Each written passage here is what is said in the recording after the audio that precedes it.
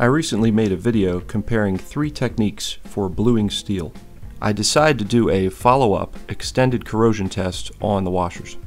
I re-soaked the three blued washers in non-detergent 30 weight oil overnight, wiped them dry, and screwed them to a piece of scrap wood.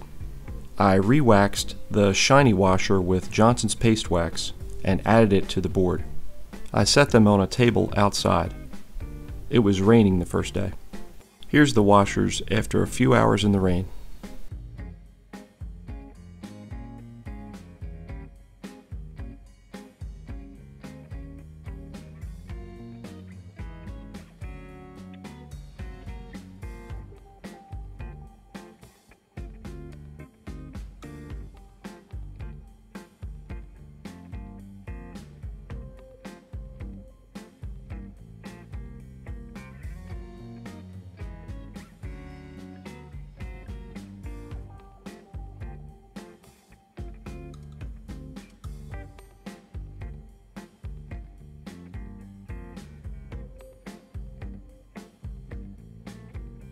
Here's what the washers look like before spending a week outside.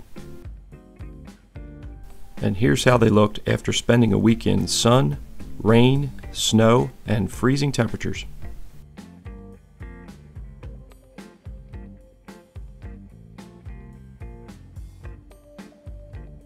I'm really impressed with how well the Johnson's Paste Wax protected the polished steel washer. The cold blue washer was the most corroded. The areas where the cold bluing was removed with the pocket knife and Scotch-Brite were the most corroded. The flame blued washer was in a little better shape.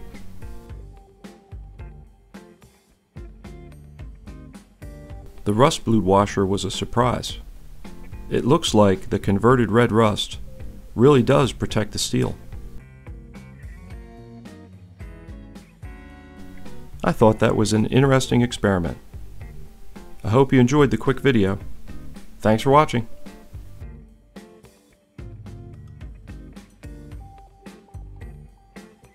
Good catch, Chuck.